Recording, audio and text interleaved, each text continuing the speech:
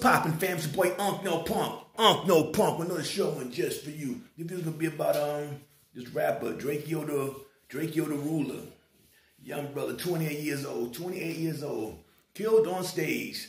A brawl happened. Next thing you know, he gets stabbed in the neck and he dies. Sad stuff, sad stuff, fam. Yes, it is very sad, but um, you must realize, you know what I'm saying? How did he get stabbed? Where was his bodyguards at? Once a, a brawl breaks out, they're supposed to surround you and get you out the area. That did not happen with this guy here. Did not happen, you know what I'm saying? Why?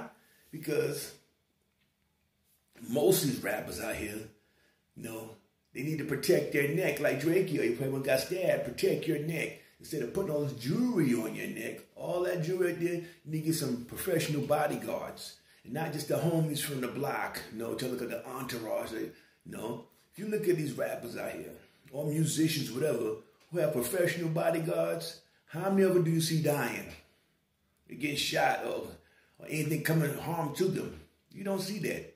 Tekashi 69 dropped down on them bloods, got million of bloods, 15 years, 10 years, every goddamn thing. So people's expecting, oh, when Tekashi gets out, some blood member's gonna come and shoot him or beat him up or do some shit like that.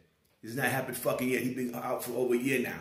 Nothing's happened to him. Why? He got professional bodyguards. You know, see, you gotta have some guards out there who can um carry weapons, who you know with permits to carry weapons, not your little homies with burners and stuff like that. When shit go down, they're not trained. You know what I'm saying? You got someone trained in security to take care of you once you start making once you get into a certain tax bracket, put that way, you're not back on making mixtapes things. You're doing shows, you travel around, so you need security. And he didn't have no security. We see what happened to him. If he did have security, it failed. Now I'm sure it was not no professional security. He probably had about four or five homies around him, little entourage, and when shit go down, the motherfuckers scattering. Dude, their minds not think about protect him, protect the breadwinner. You know what I'm saying? So that's why he's dead right now. You know, sad thing. Don't think I'm I'm I'm talking bad about the brother. No, I'm, I'm I'm just letting y'all know that um all you little rappers out there, you young brothers out there, pay to get you some professional bodyguards. You know, all that goddamn fifty thousand dollar chains and bling bling bling bling. Take two of them motherfuckers off and give you some goddamn protection. You know what I'm saying? For somebody kill your ass, take them goddamn chains off your neck. You know what I'm saying? You got professional bodyguards that carry weapons to protect you. You know, your life should be um how I saying should be valuable to you. Should be valuable to you. You know, even your homies around, they should tell you the same thing too. Get least one, two professional bodyguards that can carry weapons, you know, to keep the goons off the back there. You know what I'm saying? When goons pop up, they spray. They sure you got their thing. But professional dudes, he go to the range once a week, pop, pop, pop, pop, pop. You know what I'm saying? All in one little circle, there five, six shots could be one goddamn circle because they are trained. The little homies out there, they trained for goddamn thing. They can't work like do, do, do, do, making some, some bullshit and be running. You know what I'm saying? It's sad to see a young brother like that there.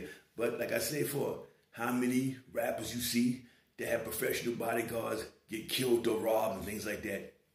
You don't hear it.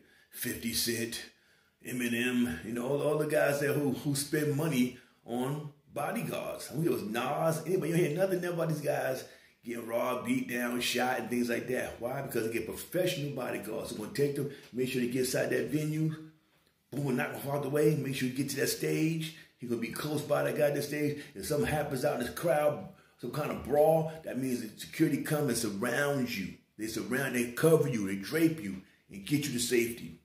See, but this what happens when you don't have no goddamn bodyguards and you get the homies to protect you. It's not gonna cut it, fam. You young bloods out there, get some professional bodyguards. I end up like that dude, Drakeo the Ruler, you know what I'm saying, with a knife in your neck. And I'm out, fam. Peace.